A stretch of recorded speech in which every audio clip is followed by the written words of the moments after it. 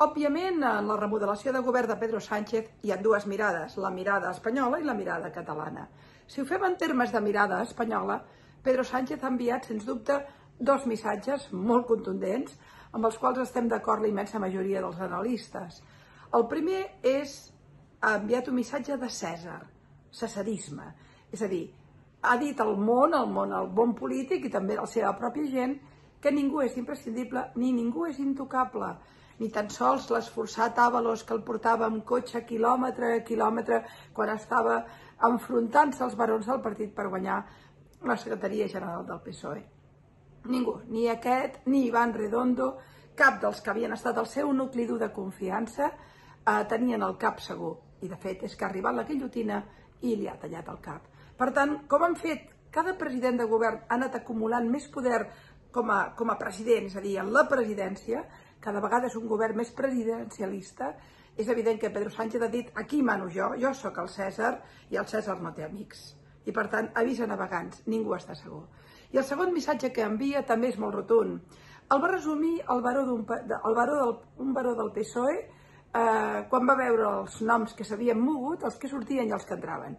I va dir, Pedro Sánchez vuelve al partido. Pedro Sánchez vuelve al PSOE.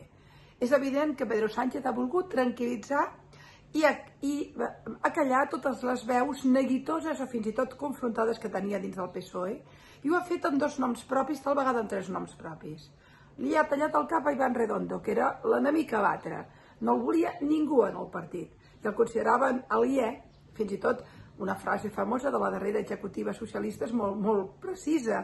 Eh, dicen que Iván Redondo se tiraría un barranco por el presidente però para el partido no s'hi tiraria ni a una cuneta. És a dir, fora. Ivan Redondo, però a més a més, en el partit li diu fitxo a Òscar López, que és l'home de partit. No és l'home de partit, és l'home partit. És l'home que muntarà la paradeta electoral a dins de la Moncloa, és l'home que recuperarà la relació amb el territori, és l'home que ha tranquil·litzat eh, els vells eh, gurús del PSOE, els mitjans, els etc etc. Per tant, Pedro Sánchez, de cara des de la perspectiva espanyola, diu, estem aquí, jo mano, mano com vull i ningú és segur, i a més a més torno al partit i torno a fer de líder del PSOE en el sentit més clar del terme. També hi havia un, un missatge a Brussel·les amb Nàdia Calviño, perquè estem parlant, diguem-ne, d'una línia dura des de la perspectiva de la negociació econòmica amb, el, amb Podemos que, que donarà molta alegria. Ara bé, entrem en l'agenda catalana, que aquí és on les claus són difuses, però l'hora també molt, molt clares. I perdonin-me l'oxímoron, la contradicció. Són difuses, però podem agafar el fil i, i poder llegir entre línies. La primera és evident i és molt rotunda. La decapitació en fi, decapitació suau de Miquel Iceta. Miquel Iceta tenia un ministeri d'enorme importància que era el territorial. I de fet tenia això, tenia un missatge, és a dir, el català, el líder del PSC, que de fet se'n van al ministeri perquè volien col·locar l'illa, però bé, el líder del, del, ministeri, de, del PSC agafava un ministeri dels grossos, eh, ordenació territorial. A més, un home que teòricament és defensor de l'estat federal i etc etc el treuen i el posen a cultura, que és una de les maries, perquè les competències de cultura estan totes repartides. De manera que vol dir que no l'han no tret perquè hauria estat massa gros, però l'han deixat clarament molt apartat.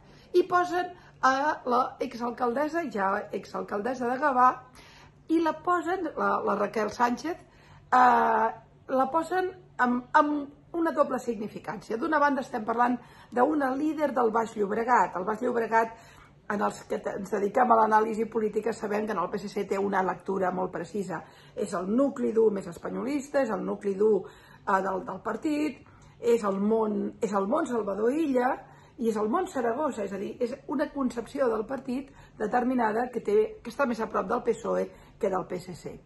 No és una casualitat, per tant, que eh, se'n vagi Iceta o s'aparti Iceta i arribi Gavà, arribi l'alcaldessa de Gavà, però és que a més a més, si hi ha una lectura clara de, catalana del que ha passat amb el govern de Sánchez, és que ha perdut Iceta i ha guanyat Illa. Salvador Illa ja és l'home PSC. Salvador Illa és el que mana en el PSC.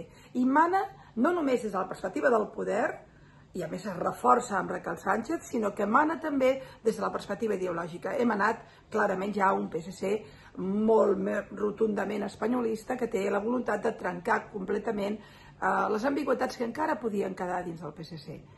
La segona lectura, que és molt important, és que hi ha el Baix Llobregat, és a dir, a Salvador Illa també, pel que significa eh, de, de la vinculació del PSC amb, amb, amb aquesta simbologia, de sobte tindran un ministeri inversor.